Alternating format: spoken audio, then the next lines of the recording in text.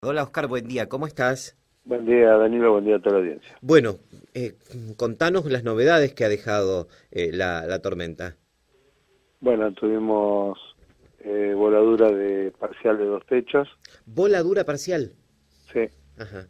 Uno en, en la zona de cerca del Paseo de Cactus y el otro en el barrio Bernabé. Ajá. después tuvimos eh, hubo varias zonas eh, sin luz, el barrio Refinería, Toyota, Colonia, Ruta 9, Acceso, Portela, Coloma y algunos lugares más puntuales dentro de la ciudad, que trabajaron rápidamente las, las cuadrillas de DEN y el primer lugar que se restableció fue el barrio Toyota y el, el barrio Refinería sí. y parte de la colonia que también estaba sin luz. Y hasta las tres y media de la mañana estaban buscando, haciendo el recorrido de la línea para ver dónde estaba afectada la ruta 9. Ajá. ¿Se sabe que fue, Oscar, si fue un corte de, un conductor eléctrico? Corte de cables. En el barrio Refinería y Toyota fueron cortes de cables. Ajá. Y los otros lugares, eh, a las eh, tres y pico que terminó paró la, la cuadrilla que estaba trabajando y reanudaba a las 5 de la mañana para buscar este, fundamentalmente la zona de, de Portel y Coloma. Yo había tenido información de que en calle Pringles al mil también había caída de, de, cables de alta tensión, me decían, en esa zona, ¿puede ser? No, no, no había, pueden haber caído cables, pero no, no se vio afectado. Ajá. Eh, Oscar, y después, después que habían caído, eh, por lo menos una farola sabíamos en la esquina de Colombres y Boedo, creo. Sí, Colombres y Boedo, una farola que quedó colgada y bueno, eh, el alumbrado público estuvo trabajando y, y la dejó a, un costado y bueno, hoy lo iban a reponer. Después también estuvo sin luz la Plaza Colón, que estuvieron hasta tarde tratando de ver si le podían restablecer el servicio a la gente del alumbrado público. Porque también eh, uno de los, de los problemas, no sé, a mí se, me dio en mi cuadra, por ejemplo, que yo en mi casa tenía servicio eléctrico, pero no había eh, iluminación en, en, la calle, digamos, o sea, se había interrumpido el alumbrado público. Correcto, porque el alumbrado público trabaja por conectores que están sectoriados. Ajá. Por ahí eh, el alumbrado de tu casa, no sé dónde estará exacto el conector que es el que maneja toda la, un, determinado sector.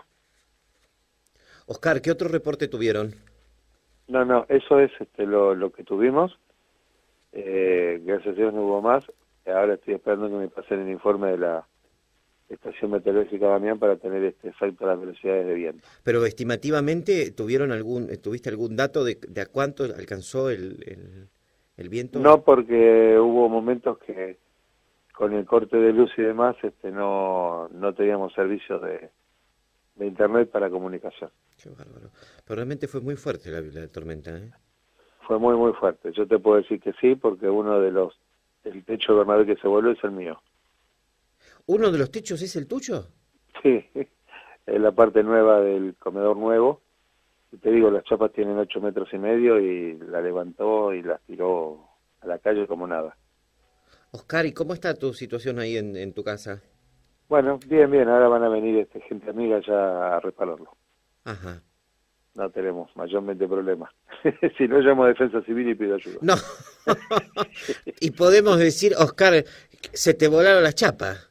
¿no? se me volaron las chapas. bueno, lo importante, digo, es que este, estés bien y que, digamos, no, no causó ningún daño en tu vivienda más allá de la rotura de el, el techo.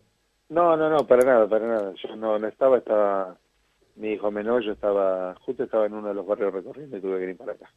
Pero bueno, este, son cosas que pasan. eh, y, y, respecto del, del otro techo, ¿sabes eh, algo más sobre los damnificados? No, no, no, porque se tomó contacto lo, eh, por intermedio de bomberos, por intermedio de policía, por intermedio nuestro, y sabemos que la la señora se ha ido a una casa este, vecina. Eh, fue justo en el medio de, de la tormenta grande. Qué bárbaro. Bueno, las condiciones han mejorado notablemente esta mañana, ¿no? Parece como que ayer no hubiese pasado absolutamente nada. No, vos fíjate que en el, en el parte anterior al cese de alerta, yo lo mando como a las 3 de la mañana, 4, decía que las condiciones climáticas iban a mejorar de oeste a norte eh, rápidamente, decía. Y fue lo que sucedió. Fíjate que tuvimos, pero tuvimos tres frentes.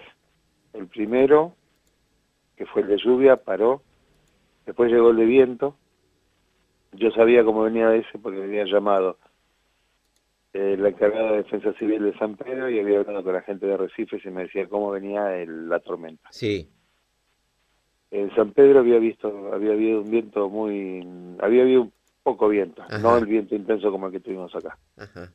Y sí había llovido. Y bueno, y después tuvimos otros, el, ese fue el segundo frente grande, y después ya cuando estaba mejorando, que parecía que mejoraba, que había dejado de llover, tuvimos un segundo, una segunda tormenta, una, una tercera parte de la tormenta grande, que gracias a Dios cayó un poco de agua nada más, porque si vos veías el, el plano de cómo estaba entrando, era lo que venía era bastante copioso. Yo estaba hablando con Jorge Silva, y le decía, digo, espero que levante la tormenta porque viene grande. Entonces nos mantuvimos en contacto porque él tenía a la gente trabajando de bien en la calle. Claro. Pero bueno, eh, fue bastante grande, bastante intensa y, el mejoramiento que habían dado que iba a ser este rápidamente es lo que se dio. Qué bárbaro. Bueno, Oscar, eh, como siempre, agradecerte por la gentileza. Por supuesto que estamos aquí para lo que necesites. Nos alegra, por supuesto, de que estés bien. Eh, y bueno, que haya pasado todo esto en virtud de que lamentablemente estamos teniendo tormentas cada vez más, más fuertes, ¿no? Y sobre todo de tomar las precauciones necesarias, digo a veces cuando uno con anticipación va anunciando respecto de las alertas que se emiten y demás, a prestar mucha atención, sobre todo para el resguardo y, demás, ¿no?